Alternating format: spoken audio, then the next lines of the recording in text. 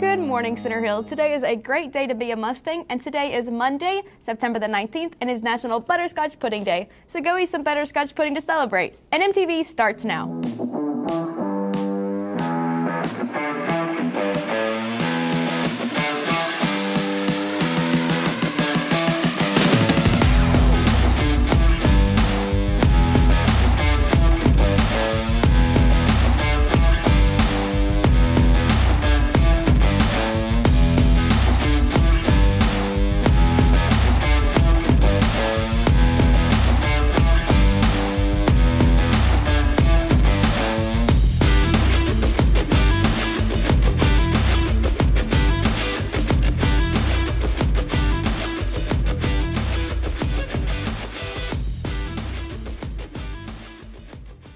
My name is Lily, and here are your announcements. School Picture Day is Monday, September 26th during first blocks for grades 9 through 11th, so make sure you look nice on that day for your pictures.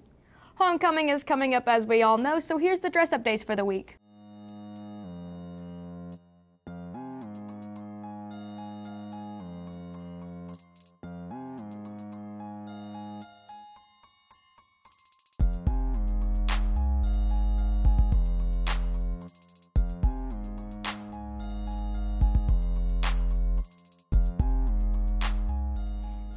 Here's what's coming up at the Hill.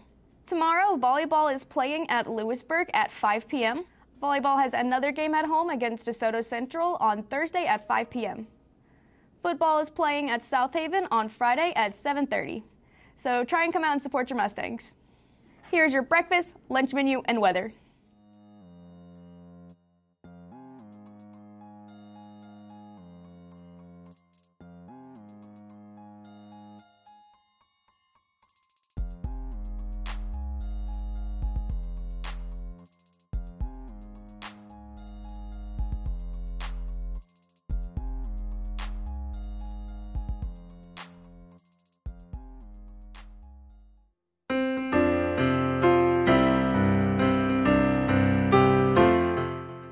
Happy birthday to yesterday's birthdays Kaylin Freeman, Quintavious Holmes, Mallory Prince, Zanaya Bauer, Dalton Flemings, and Deanna Monroe.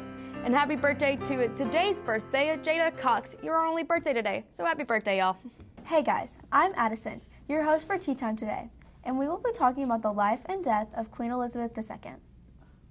The late Queen Elizabeth II was born on April 21, 1926.